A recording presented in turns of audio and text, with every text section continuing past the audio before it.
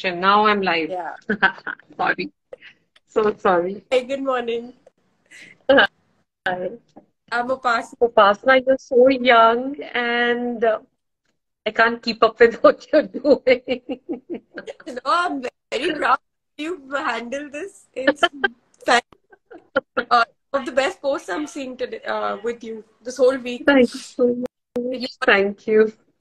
Our viewers, I can't. Uh, Your voice is cutting actually. I'm saying, do you want to introduce yourself? Yes. So I'm Ila Sharma, better known as Ila Auntie in Cuff Parade. and so uh, I have this store in uh, Maker Arcade, 73 number, by the name of Maati the Boutique. And I've been in Maker Arcade for the past eight years now. And I'm new to Bombay, relatively new. You all were born here. I came here only about uh, 13 years back. I used to teach earlier, then I moved to my business, which I had started before my marriage. I was very young at that time.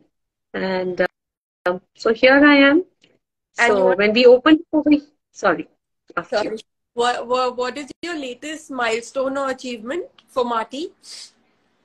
Actually, it's um, quite overwhelming to think about achievements because um, just to keep people alive and to keep people um, excited about life is more important than actually doing any sort of business. People know me as a chatterbox in Maker Arcade.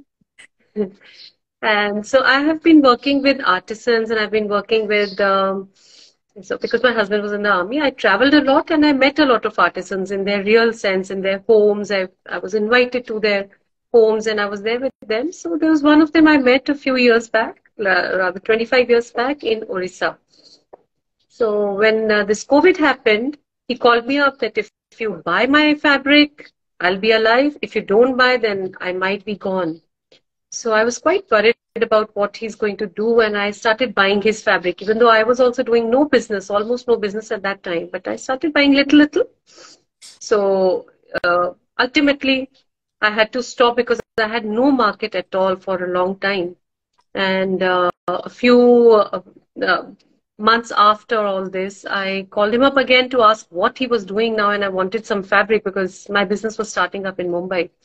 And by the way, Mumbai was the first city that woke up after COVID. And other places were very slow and uh, it was quite bad. Businesses were badly hit. Yeah. So he gave me the bad news by saying that he has stopped working as an artisan and he's gone back to road construction Oh, God. which was which is quite heartbreaking because the artisans are the ones who keep us keep our traditions keep our lives in place. They are like a very important part of the whole uh, the ecosystem of human beings and the ones who take our traditions ahead. So i was quite heartbroken. So anyway i kept calling kept calling every few months and he said no no i'm making little money by road construction. My family gets the grants and all so i'm alive I'm okay. I'm not going back to this.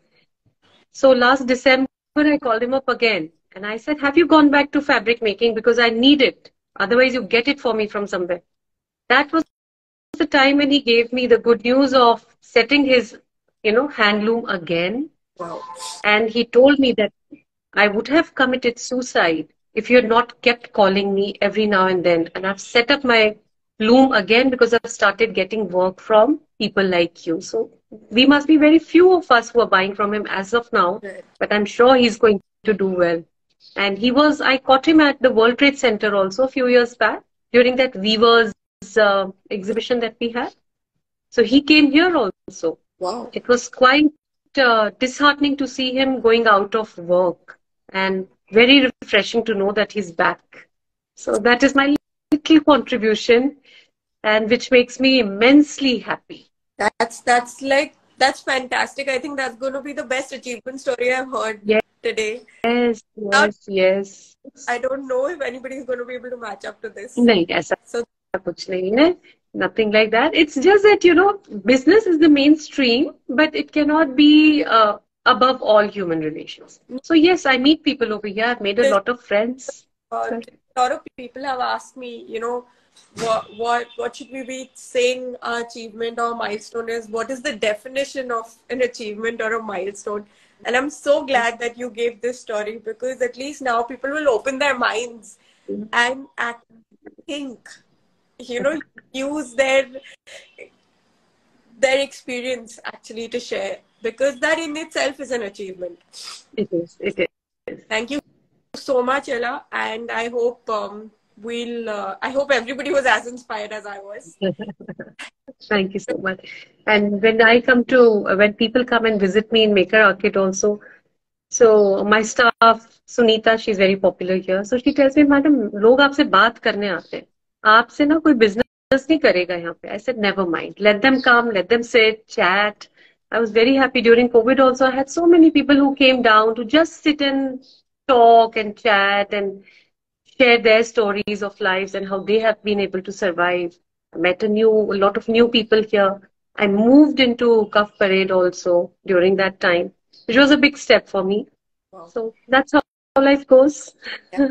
You're doing really well, and I see you in Maker so many times. You already have all people around you, like you said, always chatting someone up. So that's really, Always chatting.